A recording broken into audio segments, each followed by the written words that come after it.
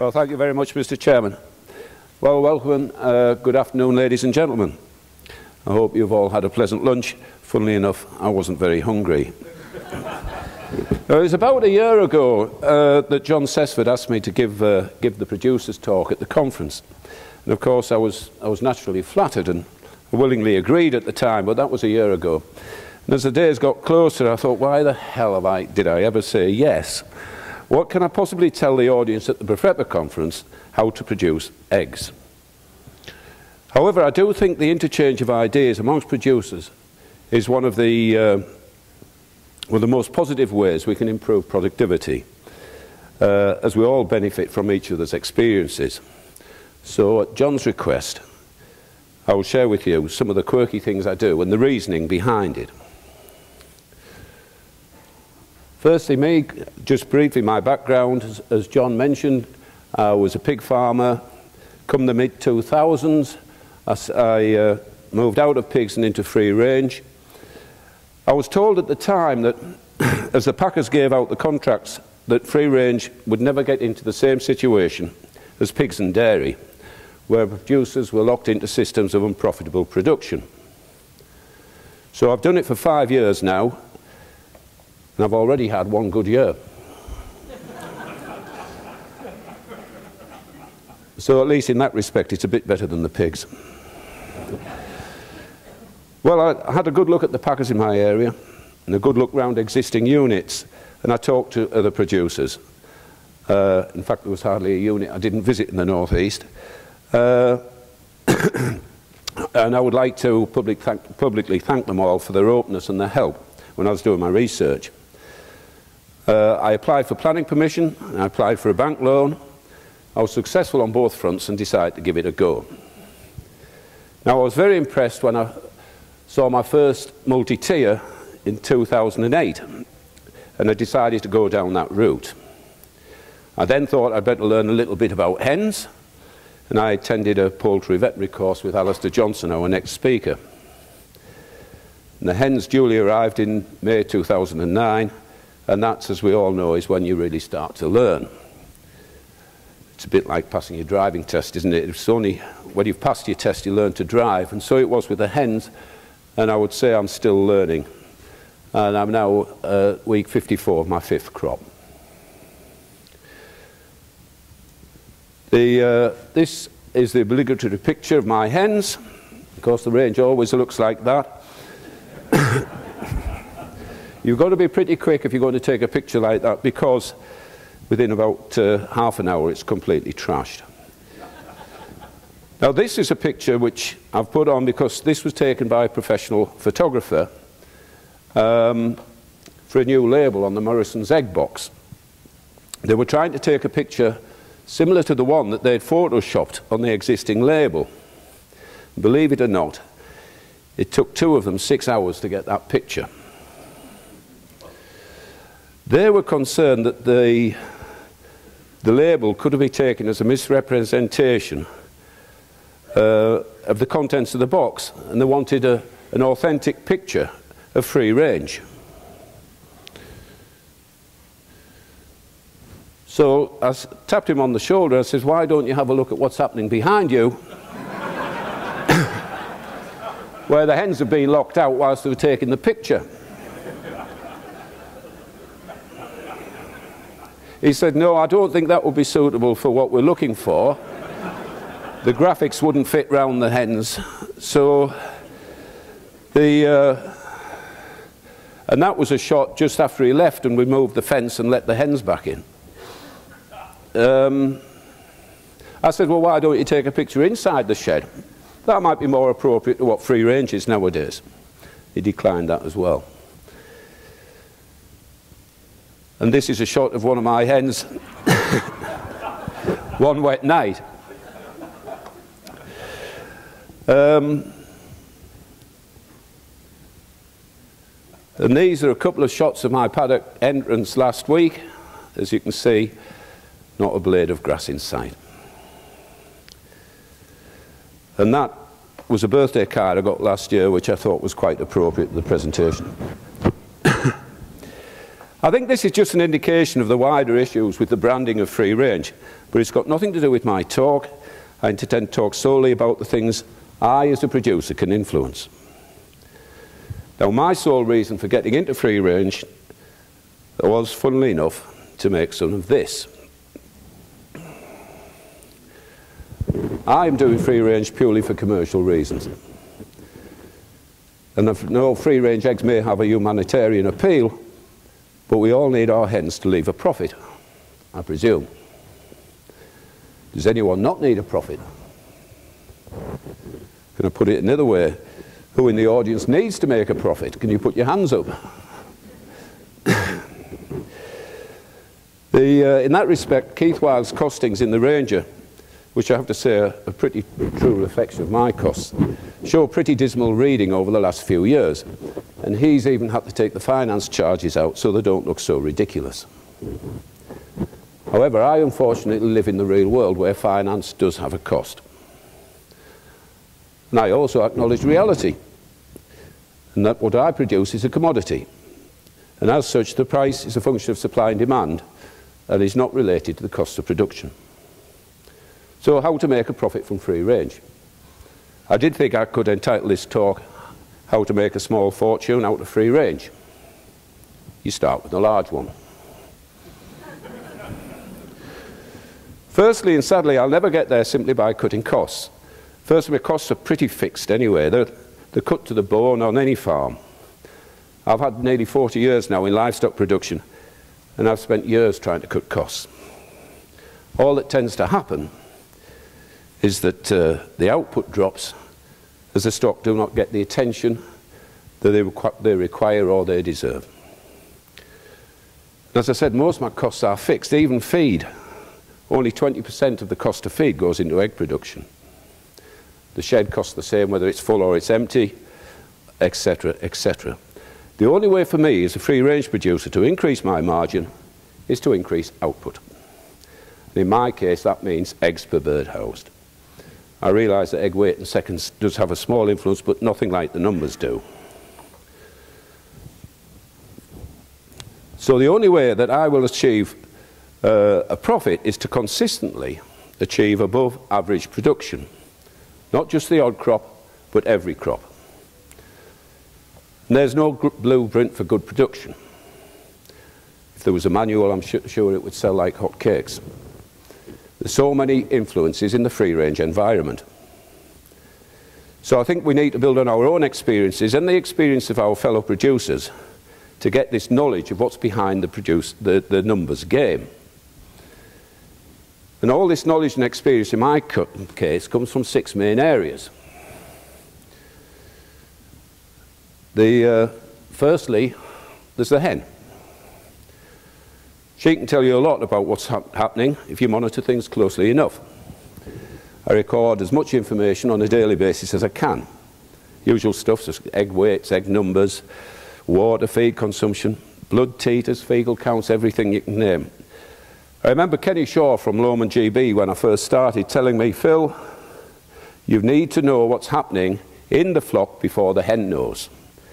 And I think that was pretty good advice. Secondly, there's the packer. I chose Chippendales. It's a personal choice. I chose them mainly because of their flexible contracts. I didn't want to get locked into long-term contract I had too much experience of those with the pigs. I chose someone I felt I could work with. After all, he's going to be my customer. And I think the producer-packer relationship is a lot more than just a business deal. Because we both need a spirit of openness and fairness. And I just felt that Nick Chippendale and this man, Peter Chignell, were people I could get on with. Peter's highly experienced in the industry, and he's become a bit of a mentor to me. And all this is a two-way process. He helps me with production issues, and hopefully I produce the egg he can sell. The next person who helps is, of course, the feed manufacturer. In my case, it's um, ForFarmers. Um, I think you need complete trust in your, in your nutritionist. I have implicit trust in Andrew Fothergill. I'm often on the phone suggesting odd tweaks to rations and he's ably assisted by David Brightmore. There's the pullet rearer. I use country fresh pullets, so essential to get the pullets off to a good start. This man, John Mason, he's an absolute fund of knowledge, probably knows too much. Again, he's been in the industry man and boy, and he loves to share his experiences for our benefit. Probably the most influential of my advisors are my vets. I think it's essential you have someone at the top of their game. It's critical that my vaccination intervention strategies are appropriate for my unit. Now I chose Minster, and I apologise to Sarah for the picture. The, um, and then there's the breeder. Uh, the current crop of Lohmanns. So I get visits from Jamie McIntosh, who's well experienced and helps me achieve my targets.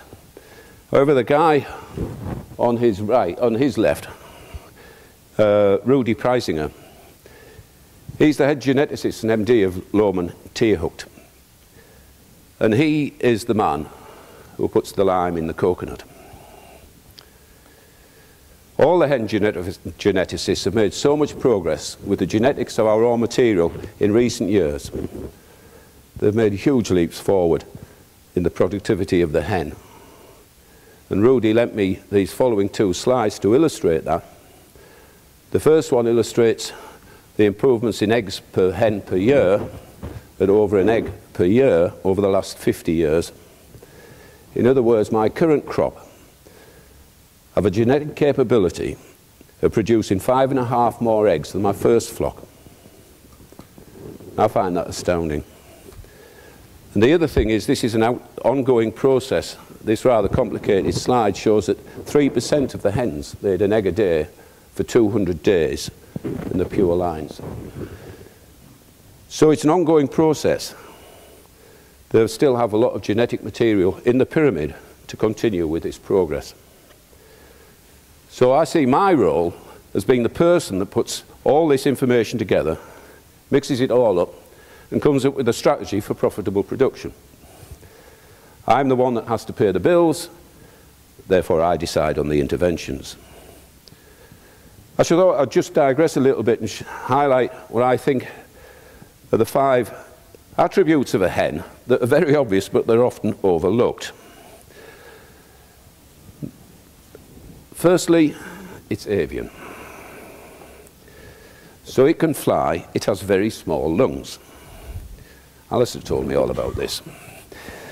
The, um, and it works by a system of turbocharging the lungs, uh, so there isn't a huge surface area for gaseous exchange. Secondly, it's derived from a jungle environment. Very humid, and pathogens and dust are precipitated out. I don't know whether you recall the old sweat boxes for pigs. But one of the reasons they were so successful, they thought that the pathogens were getting precipitated out by the humidity. But maybe its predecessors did not lead to develop comprehensive defence mechanisms uh, to capture the pathogens we expose them to. The third point I want to make is that we're involved with a very complex process in egg, uh, in egg production. It's not as simple as putting muscle on. The, uh, it's a complex hormonal, hormonal process that can easily go wrong. But having said that, it's the most basic instinct of all life. Without it, there is no life, of course. And all we have to do as producers is to encourage it to do what it naturally wants to do. And sometimes I think we as producers just put obstacles in its path. The next point is that despite what the marketers would tell us, that a hen is unable to make reasoned judgments. We have to work with what we've got, and we can only work with its natural instincts. And lastly, it's female. Now, they always need careful handling. They don't always act in a logical manner. I don't want to get involved in a sexist debate, but probably ladies make better stocks people because they're more in tune with their stock. And I think a good stocksman needs to have that element of care and consideration, as in any relationship. And we call this good husbandry. Now, there's not a tick box for good husbandry in the Lion Code or the Freedom Food audits. But I think it's essential if I'm going to achieve above average sustainable production so I can make my profit. And unfortunately, you do not get good husbandry by cutting costs. It needs investment. So in my view, there's so many variables to achieve, achieve sustainable above average production, there are no shortcuts. Might get lucky with the odd crop, but to get sustainable above average production, it can only come from the day in, day out attention to detail. And that attention to detail will hopefully provide the right environment for the hen to thrive and fully express its genetic potential. And in fact, when you break it down, I think there's three environments which uh, contribute to good husbandry. There's inside the shed, outside the shed, and the hen itself. So as far as the environment inside the shed, this is a sign on the door to my poultry shed with health and, health and safety insisted I put on to protect me and my staff when we venture in. Now the hens have to live in that, that environment all the time. And of course we don't give them masks, thankfully. um, I was talking to a broiler breeder producer, Richard uh, who said he knows when the atmosphere is right in his shed, when he can go in, sit on a bale of straw, have his lunch and read the newspaper. In other words, the atmosphere was right, the lighting was right. Often, that's always struck me, and um, what I do, because it's multi-tier, I muck out twice a week. I remove any cap litter, I removed surplus floor litter just to try and remove odour. And odour's never really talked about, but I assume a hen does have a sense of smell. He also de-dusts the shed daily to reduce the pressure on the respiratory tract. Remember, the hen has very small lungs. It can't, can't afford to lose any of its surface area. Now, I come from just south of the Durham coalfields. The miners that used to work in the pits had no lung, lung problems when they were young. It was only when they retired. So maybe that's why we see so many units struggle at the end of lay. You haven't cared for the environment at the start of lay. Also, what's it like at night with the pop holes shut? Is there an odour issue? After all, the night is a third of its day, you know what I mean. Um, is it conducive to a good night's sleep? Because the hen's still working away producing an egg. Next, the range environment. That's a shot of my range when the hens have come out. I use paddock rotation. I rotate the paddocks every five weeks. But when the hens move out, I actually plough the paddock and I reseed it. And I just try and reduce the bacterial loading that's going to challenge the hens. Try to keep the soil healthy by encouraging the natural bacteria in the soil to break down the feces and get the grass to grow so the roots can take up the nutrients and put a bit more life into the soil. And it also, when the grass gets growing, it can sort of provide a bit of a mud, uh, a, a mat above the mud. I'm not quite sure if it's worth it, to be honest, but I do what I can. It doesn't cost a lot. This is the sort of condition I try to get the paddocks in before the hens go in. I know it only lasts about a week in the summer and about two hours at this time of year, but the, uh, I just feel we do spend a lot of time cleaning the sheds and we pay a little attention to what's happening outside. And lastly, there's the, the hen environment. Um, by this I mean building vigour in the hen. I use autogenous vaccines in rear. Um, constantly on, in touch with Ridgeway regarding whether I should fine-tune them. It does give Alistair and Sarah quite a headache and how to fit the vaccines into the 16-week rearing period. But I think it's essential to uh, give them as much protection as possible I use IB vaccines in lay. I have an absolute zero tolerance of red mite and worms. And I haven't found an easy way to control the red mite yet. If anyone has, please share it. At present, I go in mm, weekly, about two hours after lights out, with an insecticide, and I monitor numbers and I spray. Then about once a month we spray under the slats, uh, and that just about keeps them at bay.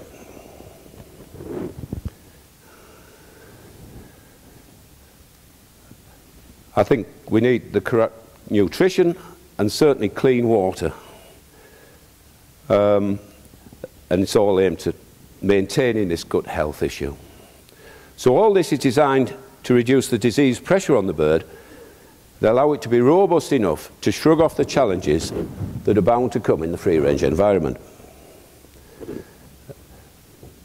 And to, to assist with this, to reducing this disease pressure, of course, I have to make appropriate and timely interventions when the production dips.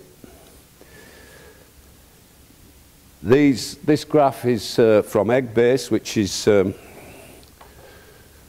uh, from Anne Fleck. Chippendale producers use it to benchmark against each other and against their own flocks. And if you can see this, the, uh, the red line at the top is the current flock, and the green line is my target line. the, um, it might be more obvious if I use the traditional sort of graph which we're all familiar with. And the blue line is my current crop, the red line is the breed standard. Now the point I want to make about this that if you're just looking at breed standards, you wouldn't have made any interventions, but you can see when production was dipping, I made a couple of interventions and I've got production back on the target again.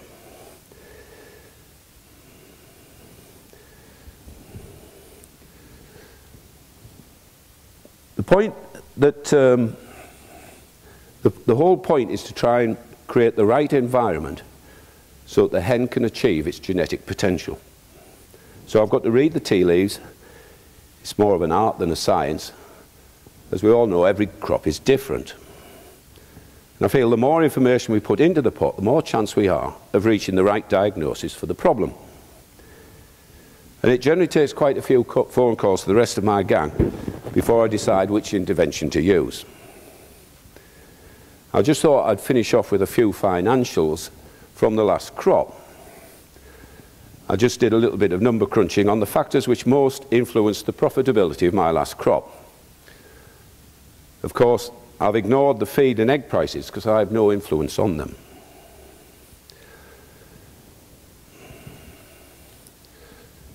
So, the, the, fairly simply, the three main targets I have, of course, is eggs per bird housed to 72 weeks because everything just drops to the bottom line. But what is realistically achievable in a free-range environment? I think 340 is probably a bridge too far at present, even though the cage men are getting there. Um, but I've set my target at 330, which I hope to achieve. Then there's the longevity. It's a little bit harder to measure that advantage because you have to turn around anyway. It's a bit trickier to manage. But again, I think the bird has the genetics to do far in excess of 72 weeks. My last flock lasted to 81 weeks, and after a, a chat with Rudy Preisinger, I've decided to try and pull this crop to 85 weeks. The third thing I target is the quick turnaround. The downside, of course, is this, there's little resting, but I'm present doing a three-night turnaround, and I don't think there's much advantage of going any less. The, um, so the financial rewards for increasing persistency, birds to, uh, numbers to 72 weeks. Well, I'm sure as we're all aware, I received about a pound a dozen for the last flock. So every egg, extra egg per bird was worth 1,333 pounds to me. So going from 300, which I've taken as an average production, to my target of 330, it would leave me £40,000 for the flock. Secondly, increasing the longevity by keeping the bird in lay longer.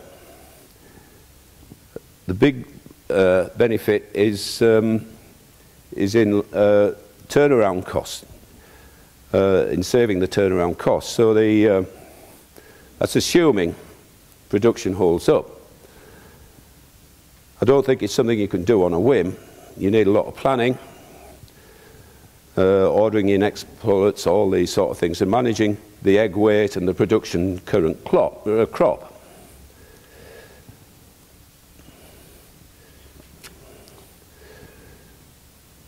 So this is what I reckon it cost me to turn around my last shop, uh, uh, crop. The pullets were 70,000. Autogenous vaccine was about four. Cost me £3,000 to clean the shed out. £12,000 to feed the hens before I got an egg. Uh, small eggs is against medium, I reckon cost me 2,800. And the lost production was about £10,000. In other words, that the point with the lost production is it wasn't making a contribution to overheads unless it's producing eggs. So all that comes to about 100,000, which is a ballpark figure used for turning around a 16,000 bird flock. So by reducing the, the turnaround times, I would save one turnaround every six years. Of course, that has to be offset against the possibility of poorer returns at the end of the crop. And I think it requires an extremely close liaison with your packer and his willingness to play ball. Um, I also, at the last crop, had the option of going into uh, processing up my sleeve if the shell quality did go. But that might not always be there. And then, oh, sorry, I meant to use these slides earlier. So it would save me £16,600 annually in turnaround costs if I go to 85 weeks, because I would save that one £100,000 turnaround every six years.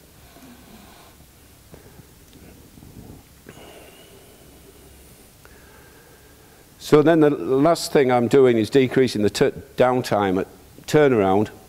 Alistair and I tend to disagree on some of the benefits here.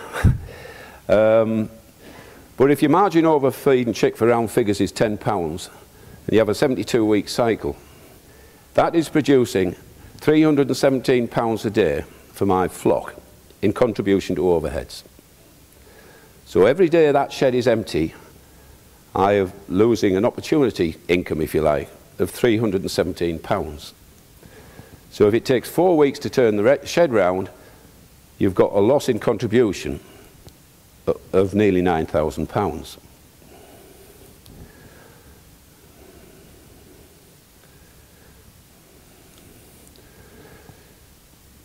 So the extra income from good husbandry, when you all add it up compared to average production of 300 eggs to 72 weeks, the 72 week cycle with a two week turnaround, what does it all stack up to on an annual basis? So on an annual basis, by going to 330, do, doing the, going to 85 weeks, then the quick turnaround, it's just short of £50,000. And maybe that leaves a little bit for the attention to detail. The problem is, of course, is which detail we pay attention to. Every crop's different.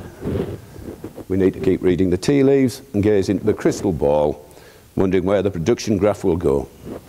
It's all part of the fun of free range, isn't it? So, in conclusion, I sit in my office doing the cash flow for the bank gazing into my crystal ball. I estimate where I think the price of feed will go. I estimate where I think the price of egg will go. I estimate what production I can realistically achieve, then I run it through the model.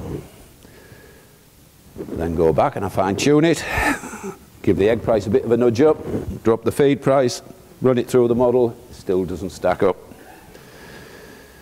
Then I realise I must go and have another look at my cost of production if I'm going to make a profit. It was Jean-Baptiste Alphonse Karr, the French novelist, who famously said, plus ça change, plus c'est la même chose.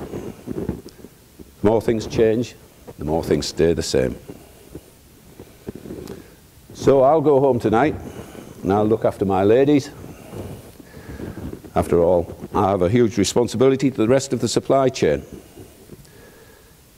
I need to produce the egg that the uh, rest of the industry can work on to produce their margin. Thank you very much for your kind attention.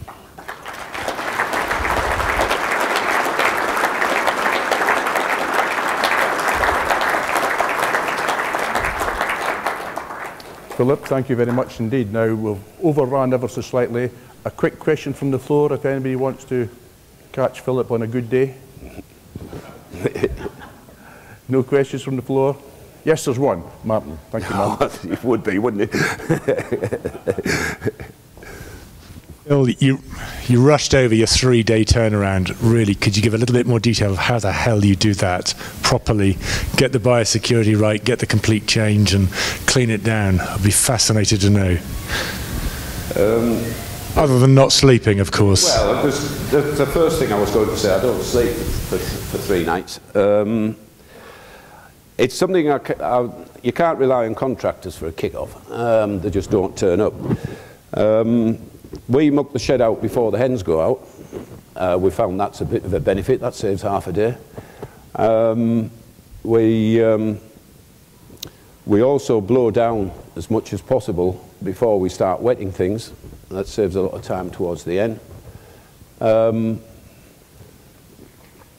planning for the, for the depletion and the new hens coming in, it, you know, it takes three or four phone calls to make sure that things are on track.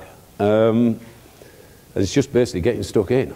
Um, you know, it's, uh, I've had a lifetime of washing pig sheds out. Uh, so me and, the, and Dave, who works for me, uh, we know what it's about, and we just get stuck in and, and do it. Uh, I do hire two extra washers in, uh, and um, you know these great big things, and uh, they certainly blast the water out. Um, but yeah, it's just a matter of getting stuck in. Uh, the shed's actually that warm that it just all evaporates and it dries out pretty quickly. So uh, the um, there's two, the, there is a slight benefit, I think, because I have a constant field challenge with IB793. I think with doing the quick turnaround, I maintain that challenge because uh, the hens can live with that, I think. They seem to, anyway. Uh, and maybe it gives a little bit of cross immunity to the other IBs. Um, but um, yeah, it's all about careful, you know, careful planning. Thank you very much, Philip. I think, Martin, what he really is saying, he just wings it. Three days of sheer chance. Anyway, I'd just like you to show your appreciation for Philip giving up his time and presenting that very worthwhile paper.